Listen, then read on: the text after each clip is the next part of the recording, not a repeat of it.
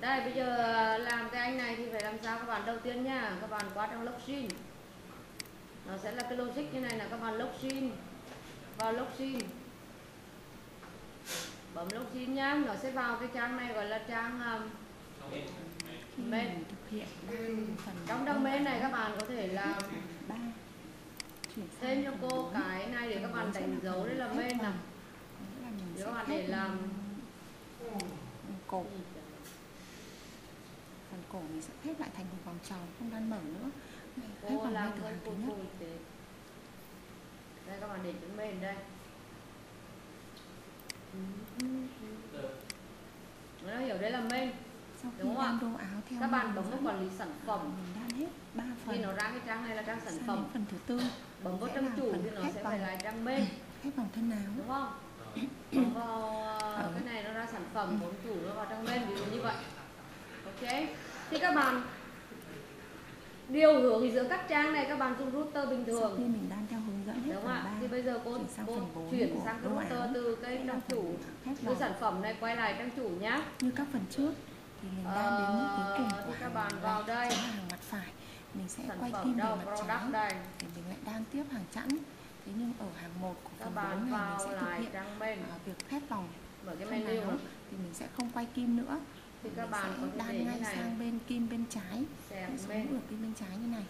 Nhưng mà vì cái cổ áo cổ váy là cổ thì ở trong router các bạn rút các bạn phải chỉnh lại cái à, không không thích cái cổ kim nhọn quá. Thì mình sẽ bắt thêm hai mũi.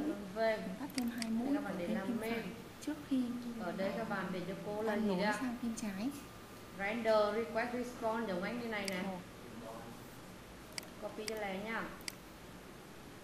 Hai khi mình bắt hai mũi rồi thì mình tiến hành đan nối vòng nhé sẽ đan các số mũi ở bên cái kia này là Tại đây. main ha. các bạn có thể cho thêm một cái mã câu vào đây rồi để lại đánh nè dấu.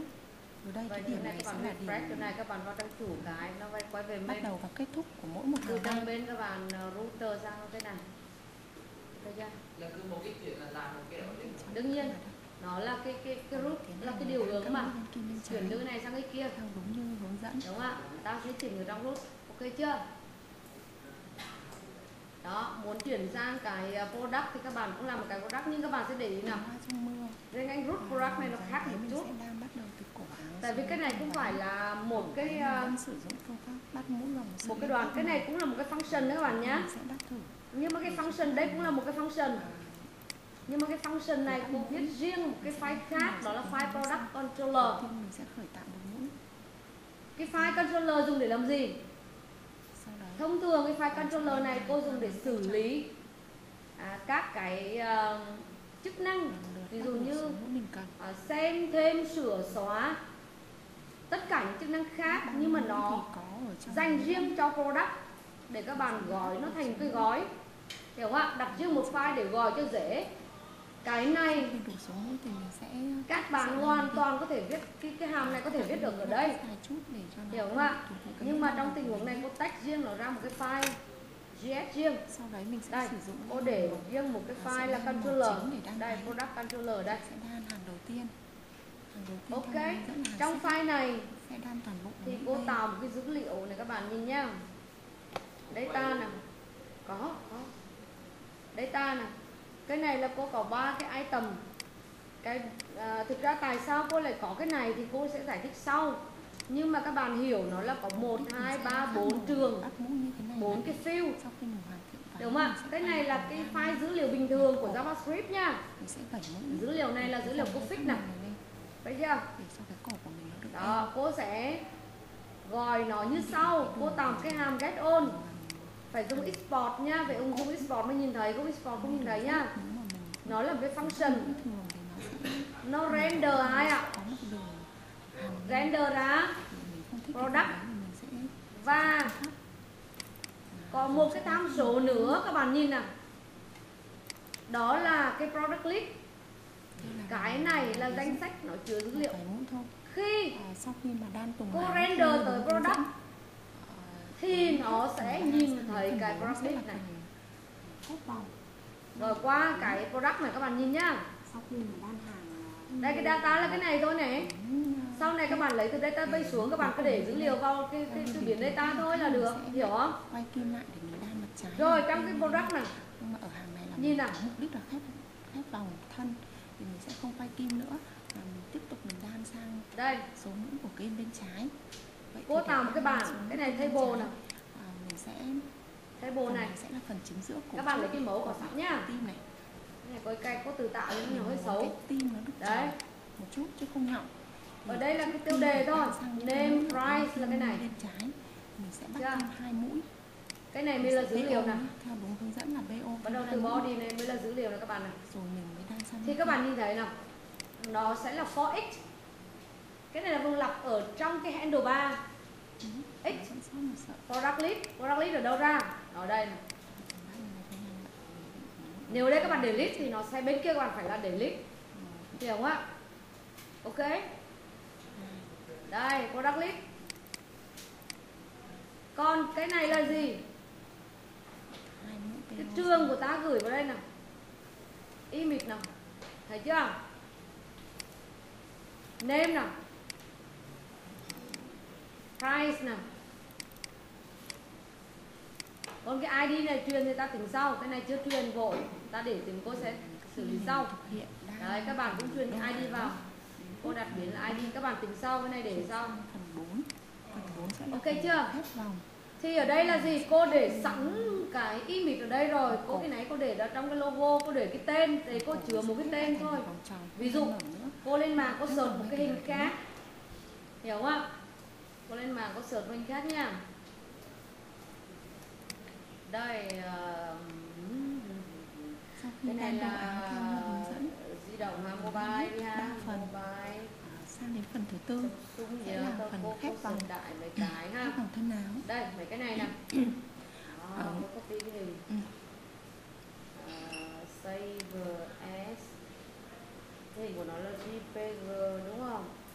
Sau khi mình đan theo hướng cô dẫn để hết phần đan desktop nha chuyển sang phần 4 của đô áo sẽ là phần khép vòng như các phần trước à, thì mình đan đến mức cuối cùng của hàng lẻ chính là hàng mặt phải. Mình sẽ quay kim về mặt trái giả sử cái này cô mới à, thế nhưng ở hàng đây, nắm này cô bốn thả mình vào đây đi ha. à, việc khép vòng đây vào cái image này các bạn nè. Mình sẽ không quay kim nữa. Ừm, mình sẽ đan ngay sang bên kim bên trái. Những số mũi ở bên, nắm bên thả trái vào đây này. nè. Nhưng mà ok chưa? Giả sử các bạn nhìn thấy cô đổi cái dữ liệu đi nhá. Cái này cô để là ví dụ như là thích cái cổ quá Mình sẽ bắt thêm hai mình bắt thêm hai mũi Rồi các bạn bên chạy lại dữ liệu trước khi à, đan nối sang Đấy, trái. Thấy hình khác chưa? Thực ra là cô lưu trữ chỉ lưu trữ cái tên hình thôi. Không lưu trữ cả cái hình nha. Chỉ tên hình thôi. Sau này các bạn sẽ học một cái phần upload hình Thì các bạn sẽ upload nó vào đúng cái thư mục Upload. Các bạn có thể cho thêm một cái marker vào đây. Upload, đâu upload đây. dấu. Tôi sẽ để hình ở trong upload các bạn thư các bạn add vào đây. Nhưng mà tôi phải để tính sau. Nhưng tạm thời tôi đang để trong image này là các bạn. Upload vào image này đều được ha. Ở đâu cũng được. Thì ở đây là cô đang để cái hình ở đây. Thì các bạn đổi cái tên hình thôi. Cái này tên cái này là giá. Đấy. Cô sẽ lấy từng trường ra. Tôi bảo bốn trường. ID name image price.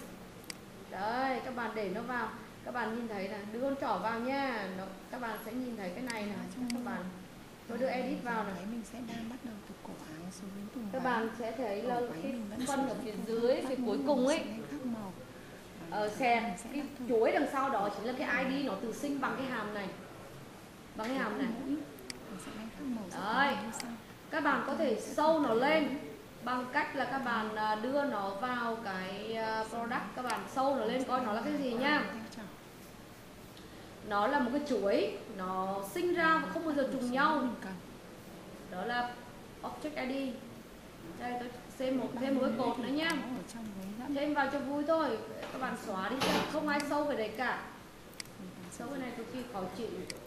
Cái này là Khi ID mình ha. xuống mũi thì mình sẽ cắt cái sợi len này thì ở đây các bạn copy cái nữa nè. Các bạn lưu ý là cắt dài chút để cho cái này các bạn để là ID. ban đầu của mình nhé. Đó. Thì cái này là trường nha. Cái này là cái cột cái cái cái cái, cái, fill của nó đó ha còn cái đây là cái fill đây các bạn quyết định bằng cái dữ liệu các bạn đẩy vào này. ID là name là image là price nè. Chưa? để lại nè. Đấy cái mã này nè. Nó từ sinh và không trùng nhau và nó là một chuỗi. Sau này các bạn thấy các bạn làm Firebase rồi đúng không? Các bạn thấy giống cái ID của Firebase không thì MongoDB cũng vậy. nó cũng có một cái dạng ID như này các bạn hút cái dữ liệu các bạn đẩy cái dữ liệu vào cái MongoDB á thì nó cũng đẩy tự động nó cũng ép cái ID này vào. Thì nó chính là cái ID mà các bạn có thể từ sinh ra. Đây nó rất là hay như vậy. Là các bạn có thể là sử dụng cái này được. Nó đảm bảo các bạn là nó không bao giờ trùng nhau. Đúng không ạ? đấy thì cái này ờ, buổi sau sẽ nói về cái Mongo OS MongoDB á. Thì sẽ nói rõ về cái này hơn cái kiểu dữ liệu của nó hơn. À, tôi sẽ nói sau. Nhưng bây giờ tạm thời là tôi chỉ đổ dữ liệu cho các bạn. Và dữ liệu hiện tại là các bạn chưa phải lấy từ database xuống. Một vài mà dữ liệu hiện tại là dữ liệu đang là dữ liệu tạo như đúng hướng dẫn ok? Và cách truyền dữ liệu nè. Các bạn học cái này trước nè. Là cách truyền dữ liệu nè. Cái đây là tên file đúng không? Đấy cái file mình sẽ sẽ chuyển nhảy render tới. Và đồng thời nó gửi luôn dữ liệu các bạn. Ok. Được chưa? cái này là tên của cái dữ liệu các bạn. Cái tên của cái cái cái các bạn đặt đúng không? danh sách các bạn đặt biến. lưu trữ. còn đây là dữ liệu cái dữ liệu này thì sau này chúng ta sẽ móc từ đây trái. xuống. Vậy thì để xuống mũi kim bên trái. Mình sẽ phần này sẽ là và đổ ra thì ta dùng vùng lọc thôi các bạn nhé cái này là của handle 3 cái tim nó được x nào? cú pháp các bạn học thuộc đấy có một chút xíu đây thôi. sang những cái mũi ở bên Đây. bên, trái. Mình đây cái này là x nào? Sẽ PO for x của ta. PO đây x là product này. đan sang bên kia. Nó sẽ lọc. Cái này hai sản phẩm nó lọc hai ba nó lọc ba. Đấy ở đây là từng cái field của nó. Muốn lấy thì lấy cái đó. Giả sử các bạn thêm một field nữa. Copy anh này vào tay lên cho nó chặt đấy thêm một cái fill nữa. Cái này là uh, cái gì đấy ạ? Ờ, black berry hai mũi PO xong không biết không biết có đúng biết đúng chữ nào không đó a b c d e gì đó đấy cái này là 120 1200 đô ví dụ vậy chạy lại nhá nó đổ dữ liệu ra thấy không khi mình thực hiện đan Đấy, phần ID nó đôi khác ở rồi đây, các bạn thấy không hết phần 3 Chưa? chuyển sang phần 4 Hả? phần 4 sẽ là phần khép vòng à, nó lặp lại đó. Tại vì cái thẻ TR là cô đặt ở trong mông lọc mà. Phần cổ. Nó lặp cái dòng nè. Bắt đầu từ thẻ TR này nó lặp luôn cả mấy cái mở thẻ này nó lặp hết. ngay từ hàng thứ nhất. Được chưa? Cô vào cái cái này cái phần giao diện là cô viết trực tiếp trên cái dạng này? Đúng rồi. Không viết trực tiếp chứ. Và cái này đâu có diện nó là cơ bản nhất á. Đan không có không có, phần. không có style không có gì cả. Các bạn các bạn lấy cái style á, các bạn xem cái thẻ TR nó nằm thứ nào. các bạn bao thẻ TR để các bạn để có ích. Hiểu không? Nhìn cái table á thì nó sẽ có từng cái TR TR đấy các bạn coi thẻ TR khúc nào các bạn báo khúc đấy thôi. Đấy. Sau khi mình đan theo hướng dẫn hết phần 3 chuyển sang phần 4 thẻ đô áo